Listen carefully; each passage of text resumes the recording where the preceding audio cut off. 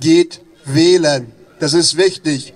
An alle Greifswalder, geht am 9.6. wählen und lasst uns zusammen Rot-Rot-Grün Tierschutz solidarisch aus dem Rathaus jagen.